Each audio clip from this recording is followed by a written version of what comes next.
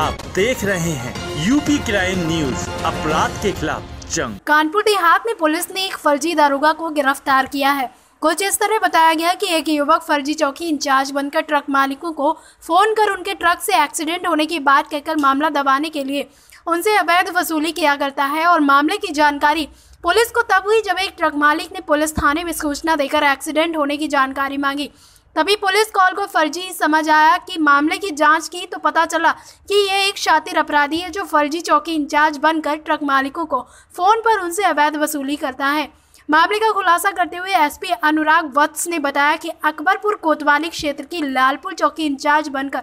Truck मालिकों को phone कर उनसे ट्रक से एक्सीडेंट हो गया है और मामले को दबाने के लिए उनसे रुपयों की अवैध वसूली करता है। इसके ऊपर पहले से ही कई मामले दर्ज हैं और ये बड़ा ही शातिर किस्म का अपराधी है, जो चौकी इंचार्ज बनकर लोगों से वसूली कर रहा था।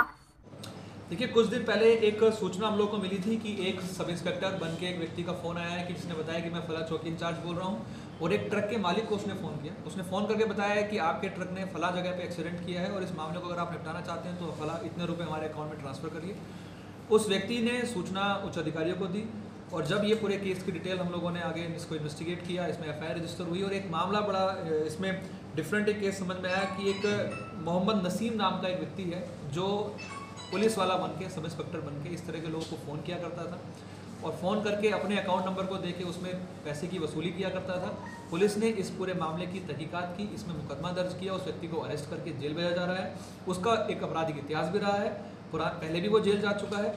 तो ये अच्छा गुडवर्क है सी अकबरपुर इसके लिए बधाई की बात। सर इससे पहले भी कोई वसूली कर चुका है कितने ट्रक मालिकों से? नहीं इस तरह कोई ट्रक मालिक के साथ वसूली का हमारे जंगल में कोई मामला नहीं आया है लेकिन चूँकि इसका पुरा, पुरानी हिस्ट्री रही है तो हम उस एंगल पे भी देख रहे हैं। जैसे जैसे लोगों को पता चलेगा तो कानपुर देहात से संवाददाता आकाश श्रीवास्तव की रिपोर्ट यूपी क्राइम न्यूज़